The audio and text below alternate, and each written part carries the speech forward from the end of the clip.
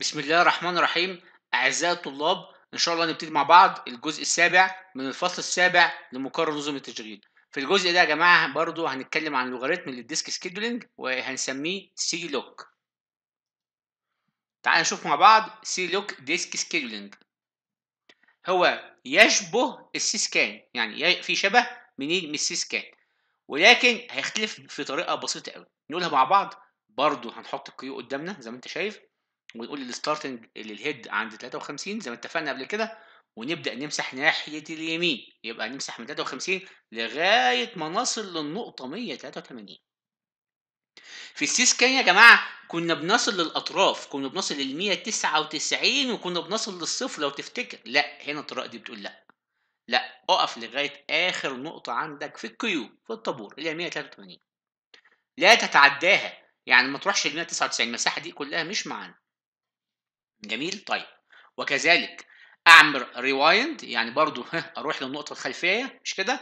وأصل للنقطة ديت من إيه ها من الاتجاه الآخر وأبدأ أمشي أخدم بقى مين؟ أخدم ال 14 ثم ال 37 يعني هتسأل سؤال يعني ما أروحش ناحية الصفر؟ لا ما تروحش ناحية الصفر. هنا هيحصل rewinding لمين؟ اللي عند ال 183 وإيه وال 14 وكأن نقطة ال 183 تطابقت مع نقطة كام؟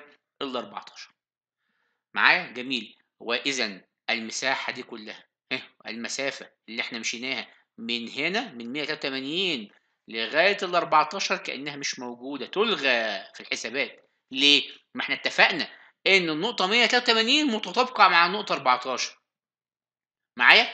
منين؟ من الاتجاه الآخر للسلندر. اذا ها ال head لن يبذل أي مجهود في الحركة من 183 لكام؟ ها لل 14 اذا المساحة دي كلها مش محسوبة معايا.